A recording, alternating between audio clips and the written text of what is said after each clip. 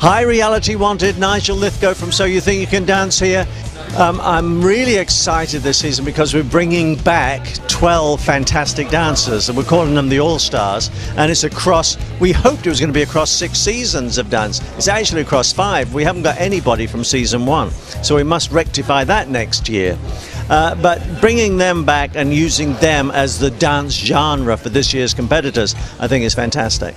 Uh, I think it's very important. You've got to have great technique to be on this show. You've got to be easily adaptable. You've got to be able to pick up steps and choreography very quickly. Uh, and you've got to be in that position that you can grow across this.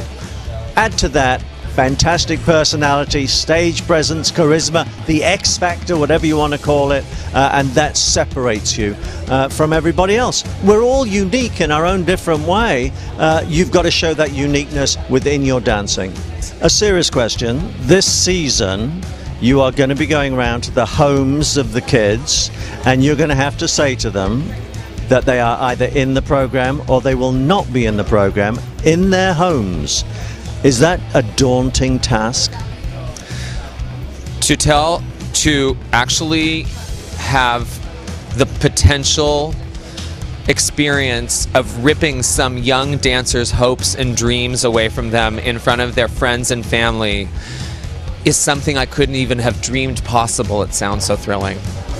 Because to watch dreams crushed is the most exciting thing that I could possibly imagine doing.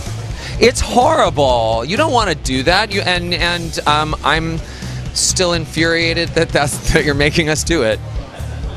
Um, is it true that you are and have been asked to audition as the next American Idol judge, replacing Simon Cowell?